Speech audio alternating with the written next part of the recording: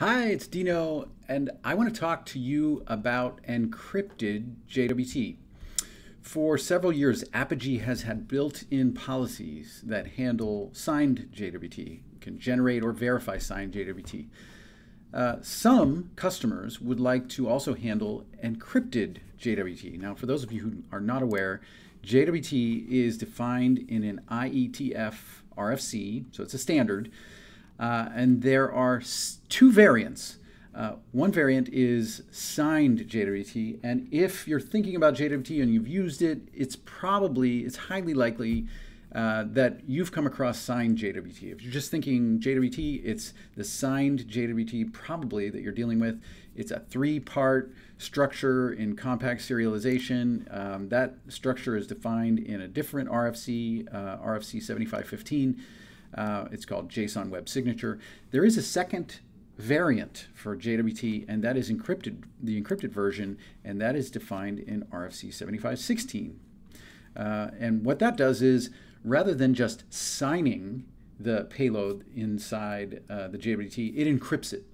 So it makes sure that that payload can only be readable by the holder of the private key. So it behaves a little bit differently than a signed JWT. Nonetheless, it is still called a JWT, different variant. There are no, as of today, there are no built-in policies in Apigee that handle encrypted JWT, but fear not, there is a Java callout that will allow you to handle uh, encrypted JWT inside your Apigee Edge organization. I want to show you how that works today. So this is done with some custom Java code. It's called, uh, the extension mechanism is called a Java callout and there's a reusable policy that I've built that anybody can use. You do not have to build the source code in order to use it. It's ready to use just out of the box. In fact, it's in this uh, repo. So you can go clone it. You can go clone this repo uh, in your own uh, in your own development workstation. Then see, we'll go into that and then you can see I've got all that source code. I've got a callout, uh, which is the source code including all the Java, um, and, um, and tests, and also an example bundle. Uh, and what I'll do is I'll just uh, deploy that example bundle into my organization. To do that, I'll use the import and deploy tool that I have. Um, it uses Node.js, so it's import and deploy. Um, let's see, my organization is in that environment variable, my environment is in that environment variable, and I want to uh, use this as the source. So that's going to take uh, a little while. Um, we're going to deploy that, and you can see all the, the dependency jars that are going to be deployed along with that. So in the meantime, let's have a look at the example bundle. Uh, we can click into this repo and we can see uh, there's a single proxy and it's got a couple of a uh, couple of uh, conditional flows. One that generates uh, asks the proxy to generate a JWT, another that generates a JWE, and that bears some comment. What's the difference between an encrypted JWT and a JWE? Well, JWT is a particular, if it's the encrypted variant, it's a particular kind of JWE. JWE defines how to encrypt anything, any byte stream, and then wrap it with some metadata that's defined in JSON. So that would be the JSON header. Uh, an encrypted JWT is a special kind of JWE in that the payload itself is JSON. So JWE can be encrypted anything JWT is encrypted JSON. Both of them have metadata. The header is JSON. Um, and in any case, this um, callout that I'm showing you can handle generation of either uh, JWT or arbitrary data. You can you can uh, encrypt any byte stream, a simple string or um, anything you like. And then there are corresponding conditional flows for verifying uh, the same. So let's have a look at how this works. Um, uh, we'll go back to the README. Uh, there is um, some example definitions or example documentation for how you can configure your own uh, policies to do that inside this example bundle. I'm just um, using those. So you'll see this one generates a JWT and that's how it works.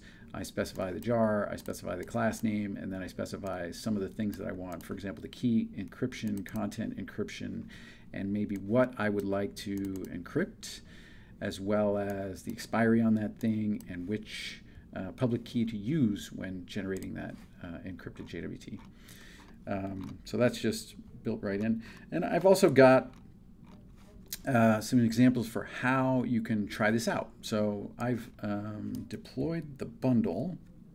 Let me just copy this command and we'll show you how it works. So that's all deployed and that took uh, a minute, minute and a half to upload all that and deploy it. Now I should be able to invoke it and you'll see I'll do just that. And I get a JWT out. This looks very similar to a signed JWT. In fact, it's hard to tell the difference just looking at it here. Um, but uh, we can paste that into an online JWT decoder. Let's make that a little bigger. Uh, and you can see uh, it's got five parts, not three. A signed JWT has five parts. This one is uh, encrypted and it's got, uh, sorry, a signed JWT has three parts. This one is encrypted as five. And uh, because it is encrypted, we cannot see the payload until we decrypt it. What we can see is the header, header, which is JSON metadata, and that's just corresponding to this. That's just a base 64 decoding of that part. Um, so we can see that. Uh, we can't see the payload until we decrypt it. How would we be, able to decrypt it? Uh, well, we need to paste in the private key.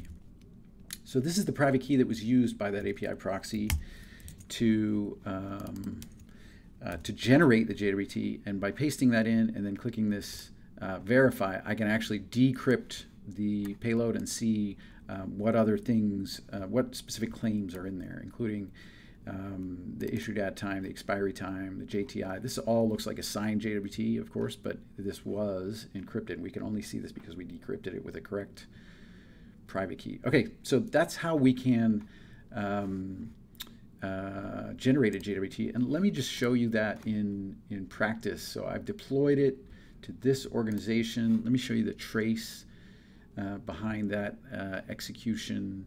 We'll just go in here, uh, click on Start Trace, and go back to my window, and we'll run that again. We'll just generate another one, a fresh one.